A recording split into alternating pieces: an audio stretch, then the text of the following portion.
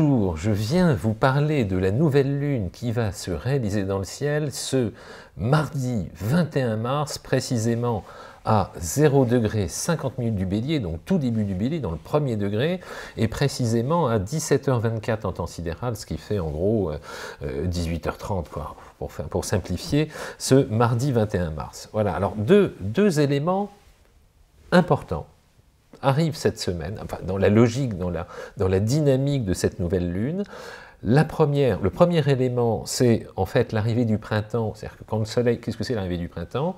C'est quand le soleil quitte le signe des poissons pour entrer dans le signe du bélier.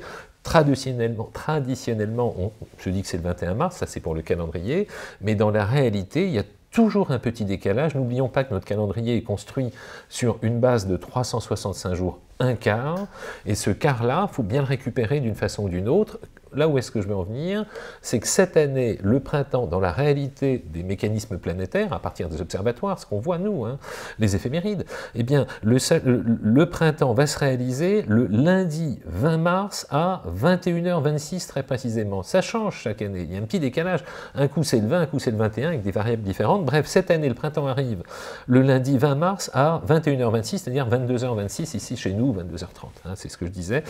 Euh, voilà la première nouvelle. Et la deuxième, et celle-ci elle est majeure, c'est l'arrivée, l'arrivée de la planète Pluton, Pluton qui accomplit son cycle de révolution en 250 ans.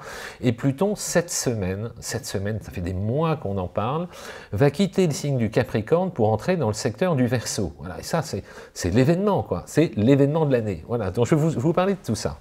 Commençons par le mécanisme lié au départ avec cette nouvelle lune, donc qui se réalise, comme je vous le disais, mardi 21 mars à 18h30 en gros. La nouvelle lune, qu'est-ce que c'est? Vu de la Terre, le Soleil et la Lune sont dans le même axe, hein, et puis à 17h30, je ne sais pas si on le verra, à peu près, hein, doit être sur l'horizon à peu près, et cette nouvelle lune, conjonction, donc vue de la Terre, Soleil-Lune, va apporter pendant un mois, mais au moins pendant toute cette semaine, une très belle énergie, très belle énergie à qui Qui va être concerné par ce nouveau départ, cette concentration, conscient-inconscient, soleil-lune, les visées lucides, les émotions qui se coordonnent, qui se synchronisent avec l'objectif à atteindre, c'est pas mal, toujours intéressant les nouvelles lunes.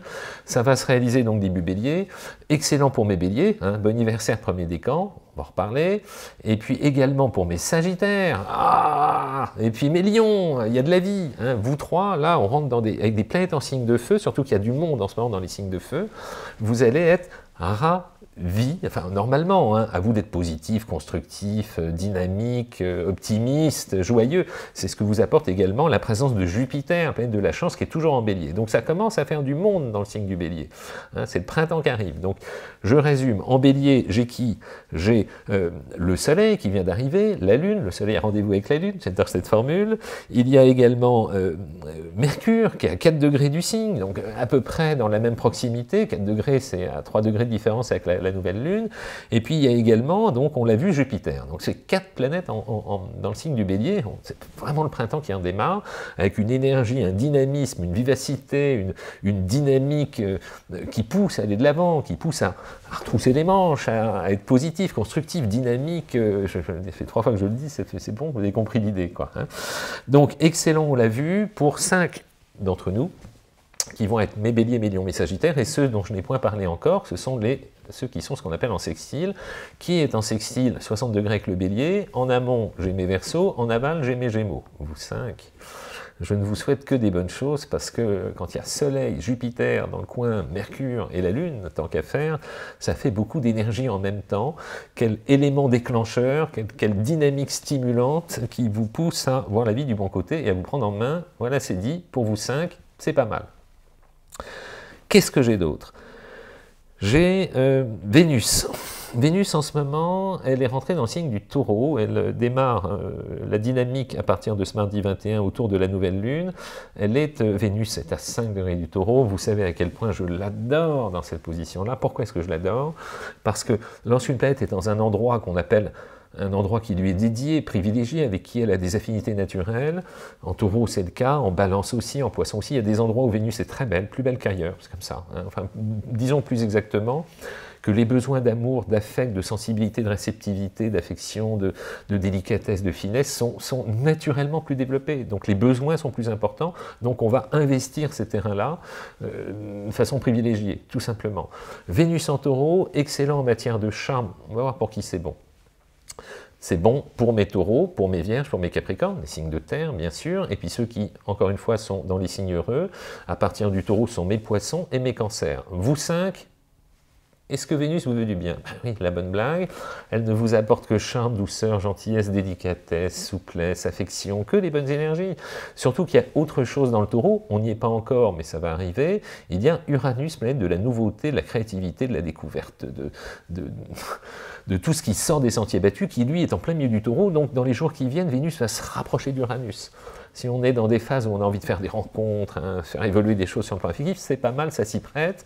Les cinq gâtés, encore une fois, pour tout ce qui est amoureux, affectif, sont mes taureaux, mes vierges, mes capricornes, on l'avait vu, mes poissons et mes cancers. Voilà pour Vénus. Mars. Mars, le fameux je recouvre les manches. Moi, j'aime bien avoir. C'est mon truc, j'aime bien avoir des manches remontées. voilà, en, hiver, c'est moins pratique, mais donc après, je m'en un petit pull parce qu'il fait pas toujours chaud. Mais j'aime bien, on est plus à l'aise pour la mobilité. Mars, c'est ça, c'est l'action, c'est l'envie d'aller de l'avant, vous connaissez par cœur. autour du mardi 21 mars, justement, il est à 28 degrés, 28 degrés des Gémeaux. Il va bientôt partir. Voilà, des Gémeaux. Je m'en fais une joie. Ceux qui, comme moi, sont ou de la Vierge ou du Sagittaire. Moi, je suis Vierge en Sagittaire, donc gagnant deux fois. Ceux qui ont des planètes en Poisson, puis aussi en Gémeaux, mais pauvres Gémeaux, parce qu'ils vous fatiguent, euh, Mars, vous devez en avoir ras-le-bol d'avoir Mars sur la tête. Alors oui, la tonicité, mais la fatigue qui va avec, elle est, normalement, elle est palpable. Hein. Donc, tous ceux qui, ont, qui, sont dans les quatre secteurs que je viens de citer vont, dans quelques jours, je vous en parle la semaine prochaine, euh, pouvoir, ouf, passer à autre chose. Il va passer en cancer. Hein, je ne vous raconte pas ce qui vous attend du petit cancer, vous aurez bien l'occasion de l'entendre la semaine prochaine. Beaucoup d'énergie en tout cas, dans le meilleur des cas.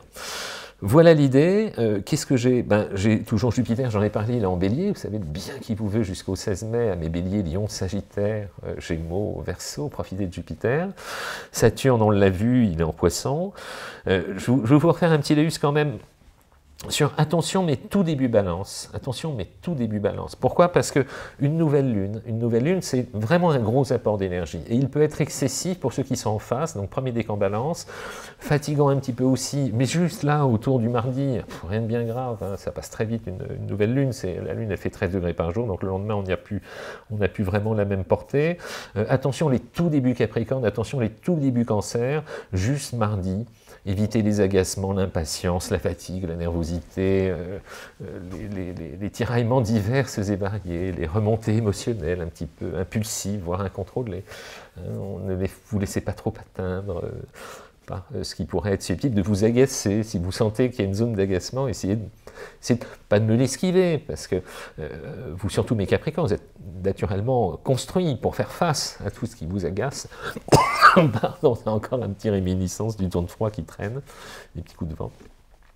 Mais, voilà l'idée. Donc, euh, rien de bien grave, juste vous trois, début cancer, début balance, début capricorne, vous êtes dans le jeu des carrés d'opposition, la nouvelle lune vous fatigue un petit peu. Si vous dormez pas bien, c'est normal. Et puis enfin, le gros morceau du ciel, le gros du morceau du ciel, c'est Pluton. Ah, Pluton, la bonne blague. Pluton, c'est une planète, on l'a vu, c'est l'occasion. Hein, il, il, change de secteur, donc la nouvelle lune, c'est le mardi 21. Ben, Pluton, il change de secteur le jeudi 23. Jeudi 23 mars, deux jours après le printemps, trois jours après le printemps. Très précisément à 15h24 en temps sidéral, 15h24, bon je crois qu'il y a une heure ou deux heures, on va être dans la période où on va changer d'heure, donc on est, allez, à, 16h30 en gros, jeudi 23 c'est précis, 16h24 hein, très précisément, Pluton quitte enfin le Capricorne où il était depuis 2008, depuis 2008 il était en Capricorne, il sort du Capricorne, c'est un truc hyper long quoi, pour rentrer en Verseau il va rester jusqu'au mois de juin, on en reparlera d'ici là. Bref, 23 mars, vous l'avez compris, tac, on change de secteur.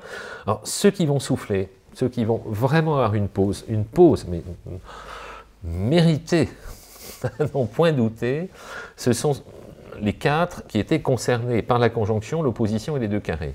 Donc ceux qui vont souffler, normalement, hein, si vous avez bien cliné ce qui devait être nettoyé, fin de l'attention pour mes capricornes, pour mes cancers, pour mes béliers et pour mes balances. Vous quatre, c'est une page qui se tourne.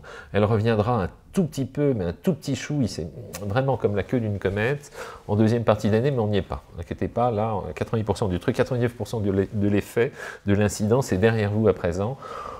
C'est très clair. En revanche, Pluton qui arrive en début verso va exercer une influence qui va s'amorcer, là, entre le 23 mars et en gros le 11 juin, un premier effet, une première coloration d'une évolution qui vous attend. Donc retenez bien qui est concerné, premier décan lion, premier décan verso, premier décan taureau, premier décan scorpion. Vous quatre, cette période qui s'annonce entre le 23 mars et le 11 juin, soyez très attentifs à toutes les évolutions dans lesquelles vous êtes en train de vous inscrire, parce que ces évolutions-là, vous en avez un avant-goût, c'est un peu le hors-d'œuvre, de ce qui réévoluera en 2024. Il faut voir à chaque fois le thème individuel, le contexte, le contexte de vie, hein, toujours pareil, voir comment ça s'associe, voir ce qui se joue, etc. Mais, mais très globalement, tous ceux qui ont des planètes en début verso, en début lion, en début taureau et en début scorpion, attendez-vous à euh, une sorte de, transformation de de toutes les dynamiques qui ont besoin d'évoluer, tout simplement, de changer, de transformer. Euh, à chaque fois, c'est du cas individuel, mais, c'est un gros virage qui se perd parce qu'il est unique. Je vous rappelle pour l'anecdote, je vous l'avais fait dix fois, mais je vais en faire une onzième, Pluton, on l'a découvert en 1930. On a associé ça à la planète qui gouverne le scorpion. Pourquoi? Pluton, c'était le dieu des enfers chez les anciens. On ne l'avait pas identifié visuellement, donc c'est le dieu invisible. Et pourtant, on savait que dans la logique, dans la structure d'ensemble, il avait une place sans qu'on l'ait découvert au niveau visuel formidable, interpellant. Pluton, dieu des enfers, pourquoi on lui a donné un domicile, une maîtrise, un endroit de prédilection, une affinité naturelle avec le secteur du scorpion? Pourquoi? Si on raisonne, l'astrologie, c'est le cycle des saisons. Hein. Printemps, beaucoup de force, beaucoup d'énergie, beaucoup de vitalité. Été, équilibre. Hein. On est bien, on est dans le plein épanouissement des énergies, quelles qu'elles soient, du soleil, de la lumière. Automne, équilibre des saisons, transformation. Hein. Et puis hiver, période de repli, de substantifique essence qui doit tenir, tenir jusqu'au printemps suivant. C'est le cycle de la nature, c'est le cycle de l'astrologie. Mais lorsqu'on arrive à la période du scorpion, période du scorpion, en gros 22 octobre, 22 novembre, dans cette zone-là, Qu'est-ce que ça engendre? Ça engendre, les fruits sont tombés à la fin de l'été sur le sol, ils sont en pleine transformation, ils ont pourri, ils sont morts, ils sont fruits, mais pourquoi? Parce que ce qui est autour du fruit va permettre de faire émerger la vie nouvelle. Le scorpion et donc Pluton, c'est détruire pour reconstruire. Donc ceux qui ont des projets, Pluton peut être un, exceptionnel moteur, il peut exalter la passion de vivre. Et lorsqu'on on est confronté à des situations qui sont un peu bancales, qu'on fait perdurer, mais qui tiennent pas trop la route, etc., Pluton, là, il a un effet de transformation indiscutablement. Mais à partir du moment où on se recale un objectif, il peut être une merveille de stimulation, une merveille d'énergie profonde. C'est pour ça que j'ai appris à anticiper Pluton pour en tirer de meilleurs effets. Voir toujours le contexte, il y a toujours une brèche par laquelle on peut faire émerger les belles énergies plutoniennes, parce qu'elles peuvent être formidables. Voilà. Euh, donc, je vous refais vite fait le petit tour de, Pluton. Je disais, on l'a découvert en 1930.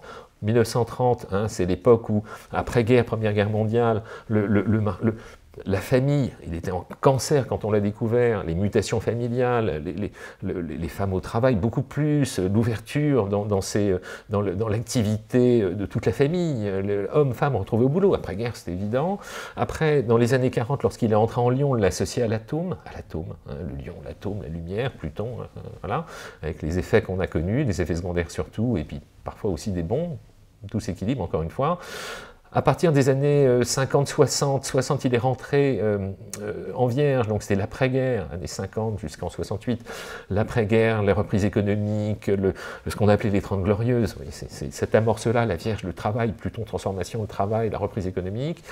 Lorsqu'il est rentré en balance en 68, on l'a associé, balance l'amour, le couple, aux libérations sexuelles des années 68, hein, Woodstock, la pilule, etc., toute cette transformation sociétale euh, de l'image de la famille et du couple. Lorsqu'il est rentré à l'orée des années 80 dans le signe du scorpion, scorpion génito-urinaire en production, euh, mourir pour renaître, on l'a associé au sida, il faut être lucide, hein. c'était un peu compliqué. Lorsqu'il est rentré, après, dans les années 90, euh, dans le signe du Sagittaire, on l'a apparenté à la mondialisation, le Sagittaire, les voyages d'ouverture. Lorsqu'il est rentré en 2008 dans le signe du Capricorne, Capricorne, rigueur, austérité, travail, mais froid hiver, on l'a associé à la crise des subprimes qui a donné cette épouvantable crise économique dans laquelle on est depuis 2008, en fait, tout simplement. Et là, cette semaine, il quitte enfin le Capricorne, où il était, je vous le refais, depuis 2008, ça fait un bail quand même, pour entrer en Verseau. Alors, qu'est-ce qu'il va donner en Verseau?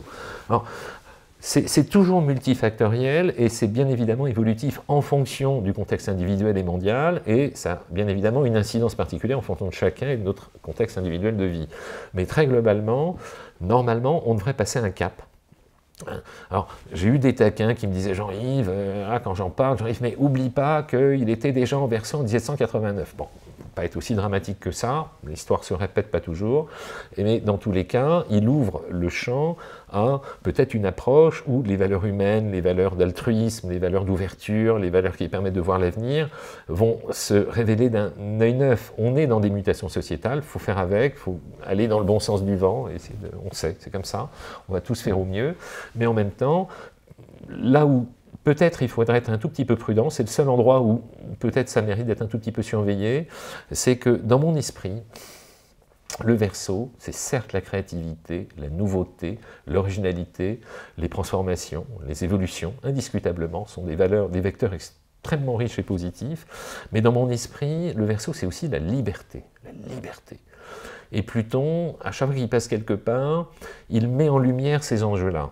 Et avec la société un peu de, visualisation, de vidéosurveillance, enfin, euh, l'idée, de mon point de vue, avec toutes les bonnes choses qui sont susceptibles d'émerger, je pense qu'il est important de garder à l'esprit, euh, de faire en sorte d'être très attentif à ce qu'on conserve le maximum de liberté. Voilà, c'est tout.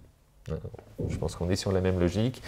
Euh, voilà, je voulais vous faire un petit tour sur Pluton, c'était sympa. Tiens, au fait, dernier point, euh, Olivier, euh, ça y est, il, remet, il, va remettre en, disponibilité la deuxième année de formation. on ne peut pas prendre tout le monde, je suis absolument navré, je suis désolé, on ne peut pas prendre tout le monde parce que j'ai beaucoup plus de travail sur la deuxième année de formation. Vous êtes nombreux à prendre la première année, il y a vraiment beaucoup de boulot, je suis dessus, il faut que je fasse les rectifs, les corrections, c'est vraiment du travail. J'ai réduit de 90% de mes consultations du parce que je ne pouvais pas faire les deux. Donc je suis attentif là-dessus, mais on est obligé de border. Il y a une quantité de places limitée. Euh, après, ça, on réouvrira dans, quelques mois, l'année prochaine, je ne sais pas, mais, quand on aura absorbé ça. Donc si vous voulez vous inscrire, il y a une liste, connectez-vous, laissez un petit euh, votre clic à Olivier, il vous fera un coucou en priorité, surtout si vous avez suivi la première année. Bien évidemment que c'est prioritaire pour suivre cette seconde année qui est finalisée. On a fait une première session il y a quelques mois. Pour moi, c'était beaucoup de taf, mais c'était passionnant. J'étais hyper content de puis on va continuer. Euh, voilà, c'est dit un lien en dessous à cliquer, un truc. Euh, si vous voulez la formation gratuite, cliquez. Si vous voulez être informé de l'année 2, cliquez. Euh, juste dans la description, en dessous la vidéo, vous allez voir, c'est simple en fait. Bon, merci pour vos likes, pour vos gentils commentaires, pour vos abonnements, pour vos partages, pour toutes les énergies positives qu'on aime partager ensemble. Merci.